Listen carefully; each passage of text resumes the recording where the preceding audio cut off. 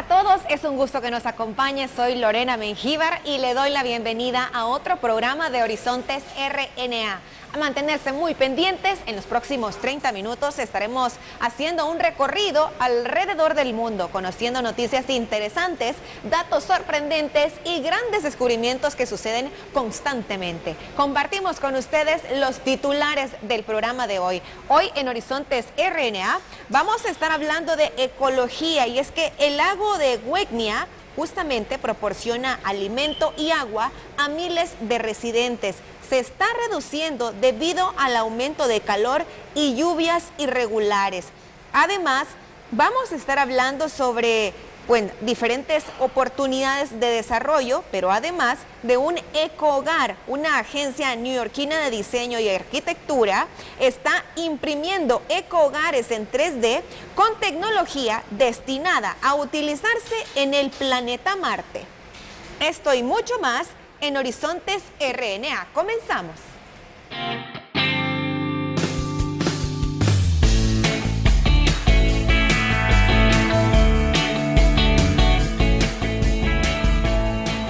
Y el programa de hoy lo comenzamos desde El Salvador porque Julio Guevara nos comenta que se está reproduciendo una planta que tiene grandes propiedades curativas y que muchos por no saberlo la hacen de menos. Eso nos habla precisamente este día nuestro compañero Julio Guevara. Veamos. La Cuma debe estar afilada porque la jornada que le espera a José Morales lo amerita. Este día deberá dejar limpio este cultivo. Para muchos podría tratarse de una planta desconocida. Sin embargo, en El Salvador está ganando terreno por sus propiedades preventivas. El proceso de la planta es que el, terreno tiene que ser arcilloso. Eh, la misma planta no necesita demasiado agua para que ella germine y todos los hijitos que ella echa, que siempre se mantenga con un cierto nivel de agua y la limpieza en general que se le hace. Estamos hablando de Calonchoe. Ese es su propio nombre, pero popularmente se le conoce como mala madre. En hogares salvadoreños se ha convertido en una planta ornamental. Sin embargo, se le han identificado propiedades que previenen temibles enfermedades. Hay diferentes variedades de calanchoe eh, ustedes han filmado solo en esta finca aproximadamente cuatro variedades. Todas ellas se pueden utilizar para prevenir el tema del cáncer. Ante todo lo anterior, Adolfo Sánchez, un agricultor del cantón Lomas de Ramos en Guasapa, San Salvador, decidió apostarle a este cultivo. Su gusto por la reproducción de suculentas lo motivó aún más tiene sus propias camas de cultivos y un vivero. Las plantas de calanchoe se terminan de desarrollar en macetas para ser ofrecidas en diversos mercados porque están ganando gran demanda. La podemos tener así o en macetas más grandes. Y ella aquí alrededor da sus hijitos. Luego nosotros los quitamos, los ponemos en una macetita con tierra ahí se, moja así como un rocío. Luego ahí se van ellas reproduciendo más y ya las colocamos en esta, así. ¿Y para consumo? Para consumo. Eh, ya cuando la planta está ya más desarrollada, eh, se quita una hoja, se pica en una ensalada o si usted gusta hacer un refresco, un licuado, igual quita la hoja, la pica bien y ahí mismo la licúa y eso se toma. Pero aquí hay algo interesante que merece ser reconocido. Esta plantación está en una zona rural golpeada por casos de cáncer. El lamentable tema fue conocido por este agricultor y así fue como inició a cultivar calanchoe. El objetivo fue desarrollarlo y regalar en las comunidades para que las familias comenzaran a consumirlo, hombres y mujeres de escasos recursos. Es un poco, dijéramos, trágico eh, conocer cómo la gente termina sufriendo por ese tipo de enfermedades. Y obviamente no toda la gente tiene el recurso financiero para atenderse en un hospital privado o en el seguro social, porque no todo el mundo está asegurado. La respuesta más popular es el Hospital Rosales, pues ya lo sabemos, pero igual uno puede tomar medidas preventivas y el calancho es una excelente respuesta preventiva. El cultivo va creciendo. A nivel internacional, esta planta tiene gran aceptación y podría llevar ese camino en El Salvador. Por el momento, la apuesta es de Adolfo Sánchez y todo su equipo de trabajo, que encontró en la llamada Mala Madre una opción de trabajo agrícola. Lo platicamos más temprano y es que este lugar, el lago de Huetnia de Mali, proporciona alimentos y agua a miles de residentes. Parece que se está reduciendo debido al aumento del calor y las lluvias irregulares. ¿Qué están haciendo las autoridades locales para poder paliar esta situación? Veamos el informe. Durante generaciones, la pesca en el lago Huecnia, en la región del Sahel, en Mali, ha sido una fuente de alimentos y dinero para este campesino. Modeste Traore esperaba pasar la antorcha a alguno de sus hijos, pero el aumento de las temperaturas y la evaporación del agua en el lago amenazan ese sueño. Si las cosas siguen así, no creo que nuestros hijos puedan convertirse en pescadores. Pero estamos trabajando en formas y medios para asegurarnos de que el agua del lago no desaparezca por completo. Las precipitaciones irregulares y la erosión también han ejercido una gran presión sobre las comunidades circundantes. En los últimos 20 años, el lago se ha reducido en más del 80% durante la estación seca. El coordinador local, Musa Sabadogo, dice que mejorar las prácticas agrícolas y la gestión del agua es crucial. Alrededor del tiempo en que el agua retrocede, las comunidades bajaban al lago, definían un perímetro alrededor del lago para el cultivo y cuando aumentaban los niveles del agua, iban y dejaban escombros, heno vivo y heno muerto que estaba en el lago descomponiéndose y acumulando un limo en el fondo del lago. Sabadogo dice que los residentes están tomando medidas para preservar el lago, plantando 56 mil árboles para reponer el bosque y mejorar las fuentes de alimentos para comer y comercial. Natalisa Las Guaitero, Voz de América. Y la joven activista sueca Greta Thunberg dijo que se sintió un poco sorprendida de que la revista Time la designara como persona del año, aunque se ha convertido en el símbolo de un movimiento juvenil global que presiona por medidas para frenar el cambio climático. Sin lugar a dudas, uno de los rostros más conocidos del 2019 que está luchando en pro del medio ambiente. La joven activista sueca Greta Thunberg dijo el miércoles que se sintió un poco sorprendida de que la revista Time la designara persona del año, aunque se ha convertido en el símbolo de un movimiento juvenil global que presiona por medidas para frenar el cambio climático. Me sorprendió mucho cuando lo descubrí porque nunca podría haber imaginado que algo así pasara. Es tan inesperado, así que por supuesto estoy muy agradecida por ello, muy honrada porque es un gran honor. Tras la cumbre climática de Naciones Unidas COP25 celebrada en Madrid, la joven de 16 años dijo a The Associated Press que le dedicaba el galardón a todos los activistas jóvenes y agregó que piensa tomarse un descanso en Suecia durante las fiestas. Time dijo que le otorgó su galardón por hacer sonar la alarma sobre la relación depredadora de la humanidad con el único hogar que tenemos, por llevar a un mundo fragmentado una voz que trasciende orígenes y fronteras, por mostrarnos a todos el posible aspecto de una nueva generación que se pone al frente. En la cumbre el miércoles, Thunberg acusó a los líderes empresariales y políticos de engañar a la población y de no llevar a cabo acciones reales contra lo que ella calificó de una emergencia climática global. Y sigo creyendo que el mayor peligro no está en la acción. El peligro real es cuando los políticos y los directores ejecutivos hacen que parezca que se está llevando a cabo una acción real, cuando en realidad no se ha hecho casi nada, aparte de una contabilidad inteligente y unas relaciones públicas creativas.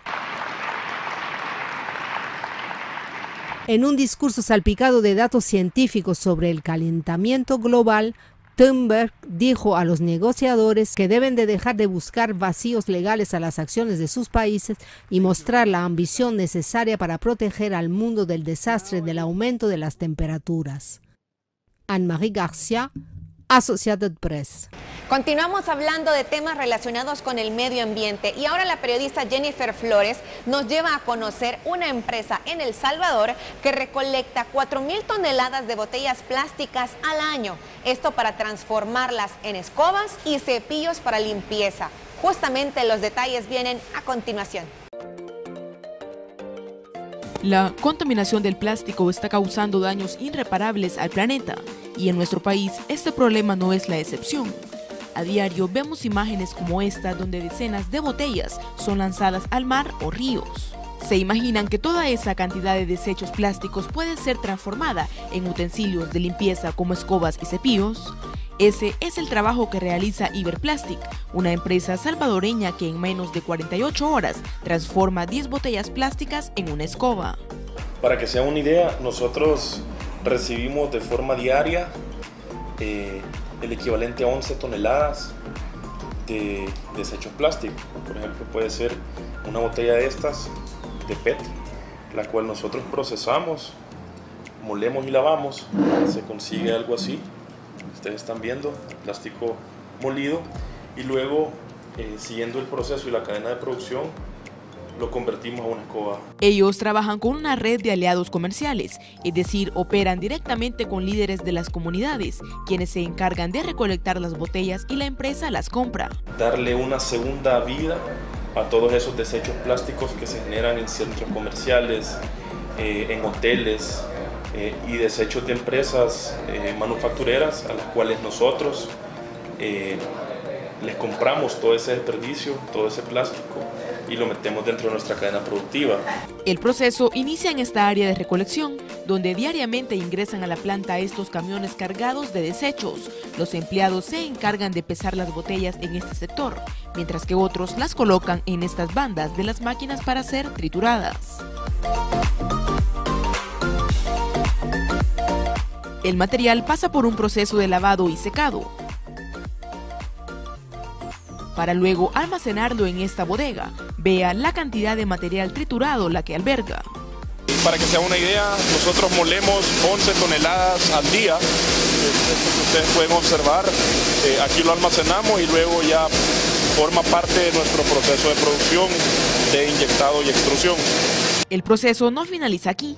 Las botellas ya trituradas ingresan en esta máquina o área de inyección para ser sometidos al calor y darle forma al producto. Al mismo tiempo, en otra área de la planta se fabrican las cerdas de las escobas. Las máquinas se encargan de cortar los productos en la etapa de extrusión.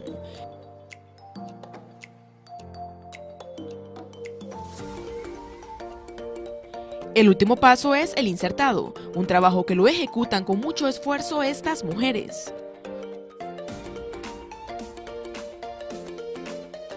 En el insertado como nosotros tenemos la escoba terminada, que luego nosotros empacamos y posteriormente cargamos a los equipos para proceder con la exportación.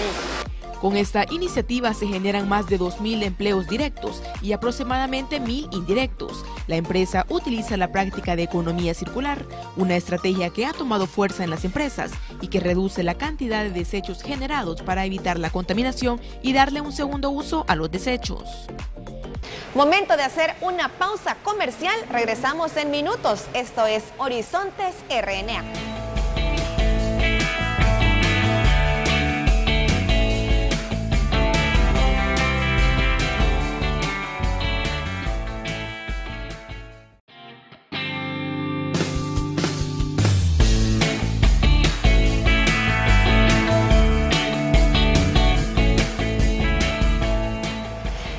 Regreso, soy Lorena Mengíbar y esto es Horizontes RNA. Vamos a enfocarnos ahora en Sudamérica y ahora justamente en la ciudad de Bogotá, donde la situación laboral y social que enfrentan los migrantes venezolanos que buscan nuevas oportunidades en esta capital colombiana, pues enfrentan muchísimas dificultades. Una ciudad que absorbía la mayor cantidad de desplazados durante más de 50 años de conflicto armado en Colombia. Veamos.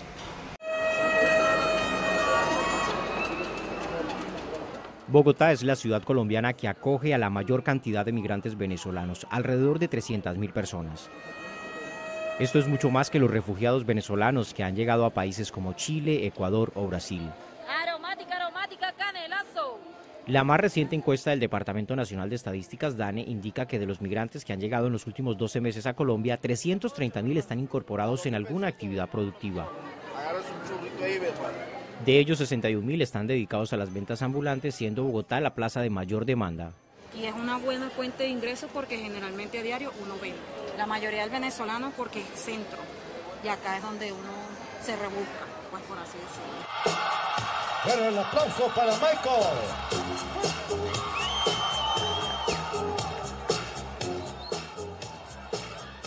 La competencia entre los vendedores ambulantes es tan fuerte como la que existe entre los artistas callejeros locales y los comediantes venezolanos que desplazaron sus shows de las calles de Caracas a Bogotá.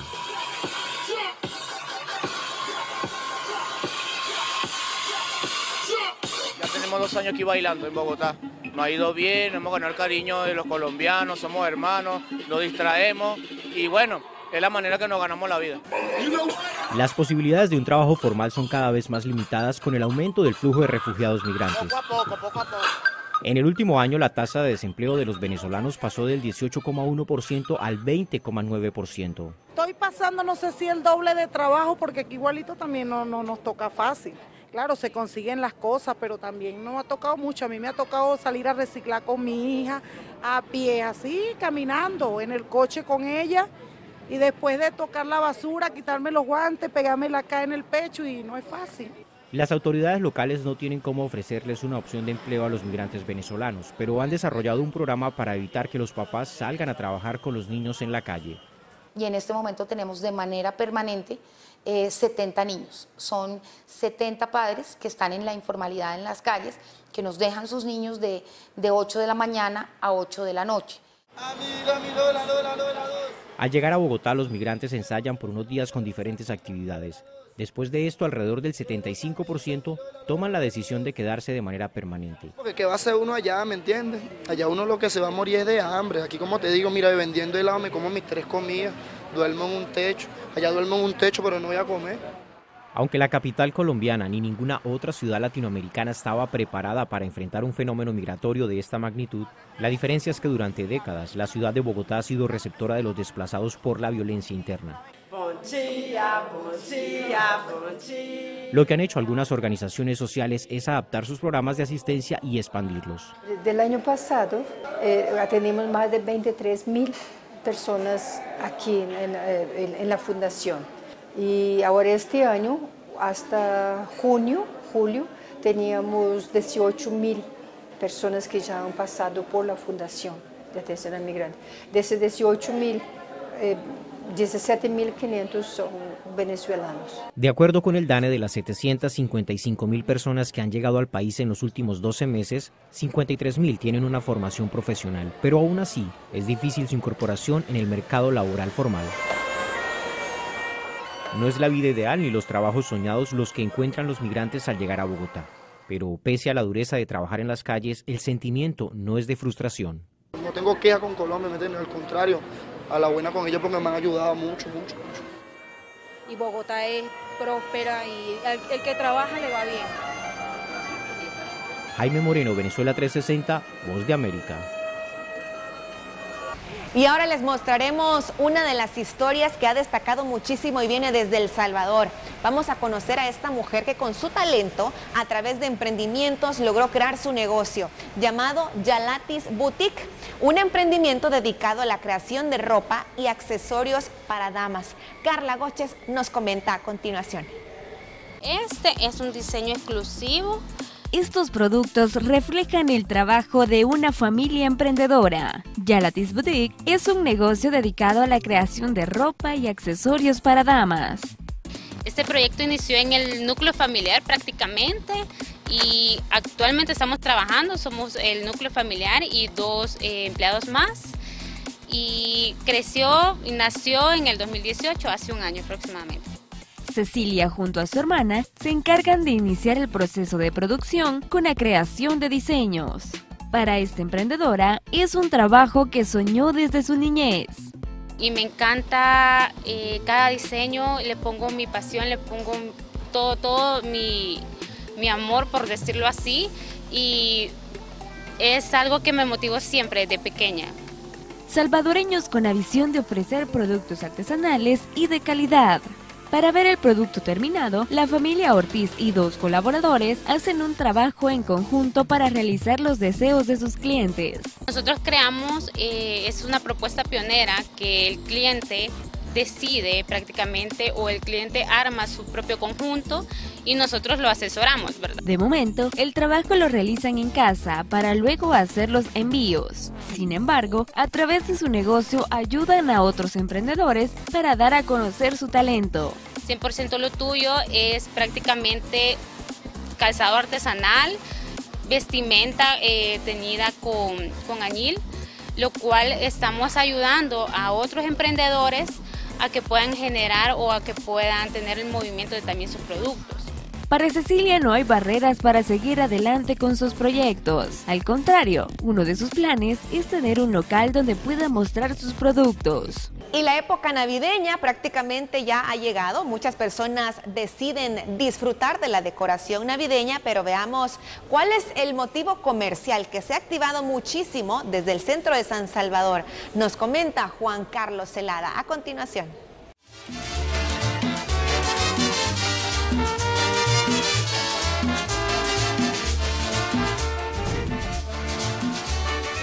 Estamos en el Parque Simón Bolívar en San Salvador. Aquí ya se respira la Navidad y nosotros vamos a hacer un recorrido para que usted conozca la variedad de adornos navideños que se puede llevar a casa. ¡Vamos!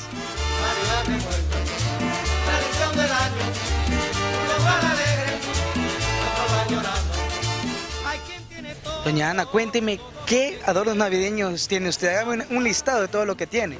Uh, paso todo el día, pues tengo misterios, acerrín, el niño Dios, luces, árboles, guía, bricho, en fin, de todo un poquito. Mire, y si alguien se quiere llevar los renos de Santa Claus, ¿cuánto cuestan esos? Le tengo de 18, de 15 y de 12. Era Rodolfo el reno que tenía la nariz. Y lo principal que son las guías, ¿cuánto cuestan? Pues de 3 dólares hasta 12. Y es que la Navidad es un momento para hacer cosas diferentes. Una de ellas es adornar las casas de mucho color y colocar algo que no puede faltar, el arbolito de Navidad.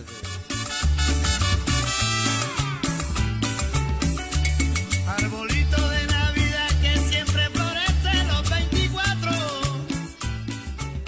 Hay desde 2 dólares, 6 dólares, 10 dólares, y dependiendo del tamaño y del material que sea. Está el tradicional y está el plástico. Tiene unos blanquitos también, ¿verdad? Aquí hay de todo. Hay con luces también. Aquí en el Parque Bolívar hay precios accesibles, variedad también. Desde el Santa más cool hasta los que se hacen acompañar por los duendes. Los adornos para puertas también los puede encontrar. Pues andábamos viendo los arbolitos y estas cositas, pues, pero andamos más que todo preguntando y comprando por, por poquito. ¿va? Se disfrutan estas épocas, ¿verdad? Sí, correcto. Aquí andamos siempre. ¿Y los precios los ha sentido usted accesibles? Pues la verdad sí, están bien accesibles, los precios están cómodos, las cositas. Está bien, por eso llevamos ya ahí unas cositas ahí ya, ya comprando. Bueno, pues llevamos guías para decorar el árbol y así pues. Pero usted disfruta de esta época. Es la época que más amo en, en- en el año. Y si piensa colocar un nacimiento, Las figuras de barro están presentes de todos los tamaños. Y según los comerciantes, los precios para armar uno van desde los 3 dólares hasta los 15 o 20 dólares. Y acompañados de acerrín, bueno, específicamente el acerrín, ¿cuánto le costaría? Una cora a la medida.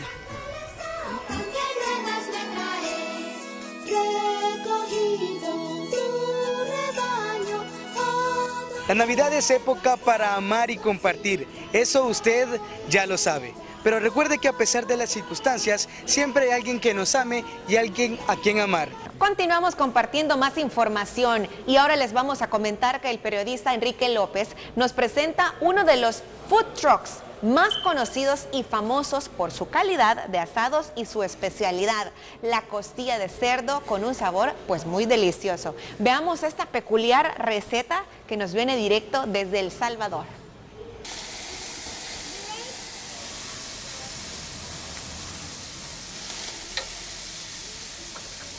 Hace año y medio empezamos Siva Ribs por medio de un compañero y yo,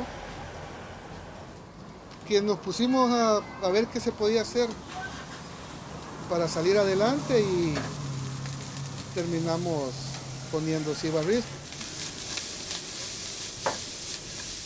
Los cortes que ofrecemos son en pollo es pechuga de huesada, también lleva el sazón ahí propio, lomo de cerdo, eh, también tenemos el lomo de res. Todo va sazonado, todo va preparado con el- la, receta secreta. Le llamamos la receta secreta del guille.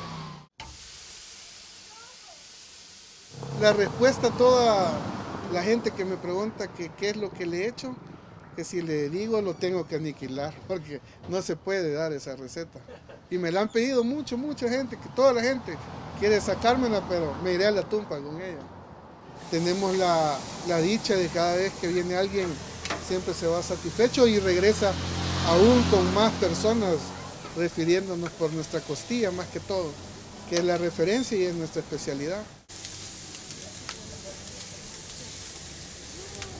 El plato está acompañado de cualquier porción que usted pida, que sea, ya sea costilla de cerdo, lomo de cerdo, lomo de res o pechuga de huesada. Todo va acompañado con casamiento, chimol, tortilla y también tenemos una cebollita especial que es una, una cebolla morada con chile. Muy rica también, que también me quieren robar la receta, pero también no se puede dar. La competencia es fuerte, estamos en un lugar donde hay varios lugares de comida y hay que ayudarnos entre todos, pero cuando empiezan a preguntar y a preguntar de que qué lleva, qué trae, qué tiene, ya para convencer al cliente lo que le decimos es, si no le gusta, no lo pague. O sea, es bien sacrificado, pero es lo que queremos. Esta es la forma que queremos salir adelante. Y con, la fe que tenemos y el apoyo de toda la gente, primero Dios, nos encuentren más adelante con un par de restaurantes como Siva Ribs.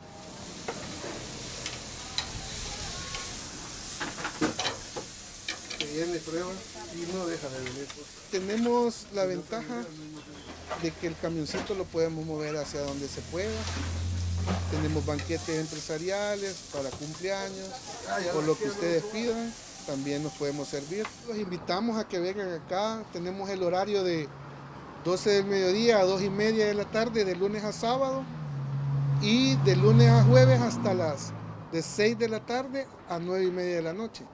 Viernes y sábado estamos hasta la 1 de la madrugada, queriendo hacer el concepto de ser un lugar donde venga a terminar de comer, donde ande gozando, aquí puede venir a gozar también, ya a echarse su bajoncito, como le decimos con el coloquial salvadoreño. Momento de hacer nuestra segunda pausa comercial. Regresamos en minutos, no nos cambien.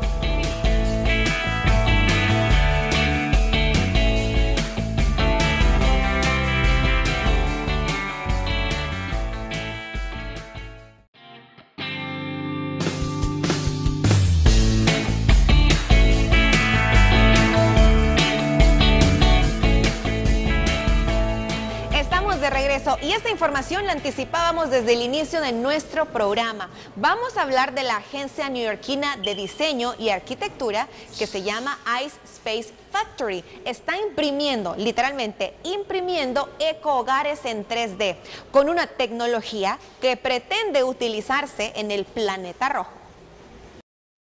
Este hogar ecológico impreso en 3D se basa en la tecnología utilizada para hacer prototipos de hogares para los astronautas que vivirán en Marte.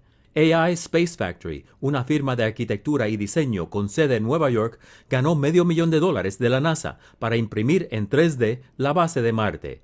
Está hecho de materiales que se podrían encontrar en el planeta. Ahora han hecho una versión terrestre, construida sobre los mismos principios ecológicos. Terra será como probablemente el primer edificio reciclado del mundo. Cuando ya no necesite el edificio, puedes molerlo, reciclarlo y volver a imprimirlo en otro lugar, que es algo que nunca puedes hacer con concreto o materiales de construcción tradicionales. El exterior está hecho de una mezcla de basalto y un biopolímero desarrollado a partir de cultivos como el maíz y la caña de azúcar. Las pruebas de la NASA encontraron que era un 50% más fuerte y duradero que el concreto, además de ser reciclable y biodegradable. Es un biopolímero. Significa que es un plástico, pero está hecho de plantas. Por lo tanto, no es un producto de petróleo y está reforzado con fibras de basalto. Actualmente, Terra se imprime en 3D en el sitio. El espacio de dos pisos y unos 46 metros cuadrados estará abierto al público en el estado de Nueva York en marzo. Miguel Ángel Rivera, Voz de América.